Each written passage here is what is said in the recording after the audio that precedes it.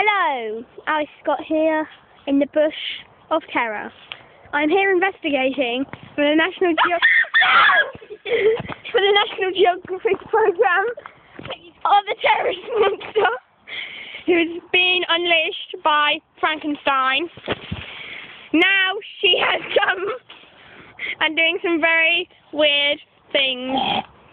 As you can see, we're now following her, and I have a friend with me today, Inspector Morris.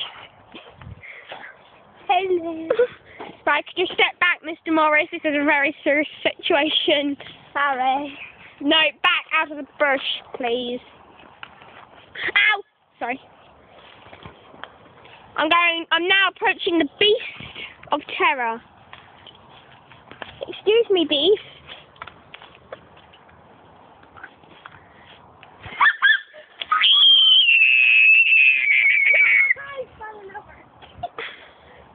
I'm thinking.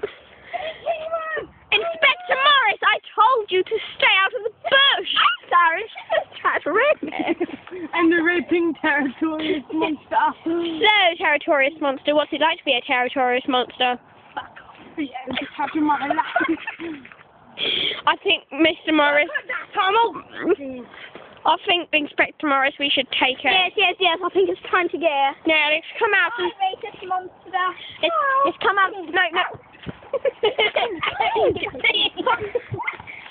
so, Mr. Morris, what do you think of this situation? well, you see, it's very, it's, it's, um, it's very it's serious. It's not very nice. Because people go around raping other people. Actually, I'm a monster. Alice Scott. Alice Scott reporting on the monster of terror.